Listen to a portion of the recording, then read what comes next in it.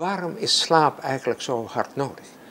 Nou, slaap heb je nodig om je lichaam te laten uitrusten van een dag. En dat zorgt er ook voor dat je geheugen beter is, dat je concentratie overdag beter is, dat je eigenlijk overdag beter functioneert.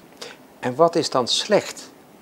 Eigenlijk wat we tegenwoordig doen. Uh, we gaan in de avonduren gaan we door met alles wat we doen. In de avonduren uh, kijken we naar schermpjes, naar licht, wat we eigenlijk in de ochtend beter kunnen gebruiken. Uh, we eten s'avonds, we drinken s'avonds uh, alcohol, frisdrank. Dat is allemaal um, zorg dat je lichaam aankomt te staan. En dat vooral op het moment dat je moet gaan slapen, je, staat je lichaam nog aan. We hopen natuurlijk allemaal goed te kunnen slapen, maar er zijn ook slaapaandoeningen. Ja, er zijn bekende slaapaandoeningen. Eén is slapeloosheid, het gewoon moeilijk in slaap kunnen komen of moeilijk door kunnen slapen is een belangrijke. Uh, wat we ook kennen is de rusteloze benen. Dat je door beenbewegingen heel moeilijk slaapt. Uh, we kennen ook mensen die slaapwandelen, uh, kinderen die bedplassen. En wat ook een belangrijke grote groep is die we kennen, is mensen met een slaapapneu. Slaapapneu is dat je stopt met ademen in de slaap komt eigenlijk voort doordat uh, de keel en de neuskeelholte dicht gaan zitten. Dat is een veel voorkomende oorzaak.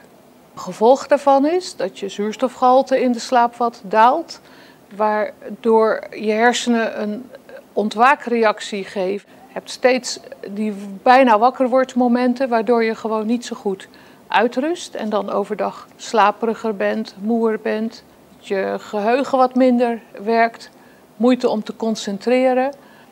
Als je denkt last te hebben van slaapapneu of van slaapstoornissen, dan is de eerste stap richting huisarts. Maar als die verwijst naar het SKB, eh, wat gebeurt er dan? Ja, dan uh, krijgen mensen een uitnodiging uh, voor een slaaponderzoek. En die volgafspraak, dat is bij het slaapcentrum, begreep ik. Is dat een werkelijk een plek slaapcentrum? Het slaapcentrum is niet één vaste plek. Het is een samenwerking tussen de KNO-artsen, de longartsen, de verpleegkundigen van de slaapapneu, soms ook de neuroloog.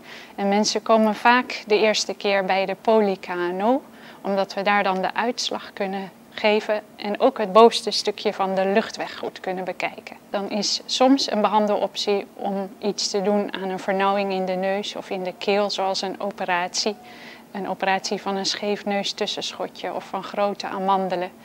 Uh, maar veelal is de behandeling niet door middel van een operatie. Er zijn ook mensen die in aanmerking komen voor een speciale beugel, een MRA. Die houdt de onderkaak naar voren, zodat de luchtweg open blijft.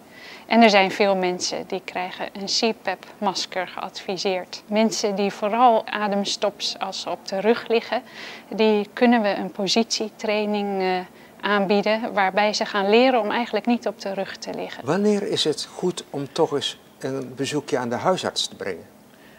Ja, allereerst als je partner uh, zegt, jij snurkt, maar af en toe stop je even met uh, ademen. Ik hoor af en toe van die pauzes.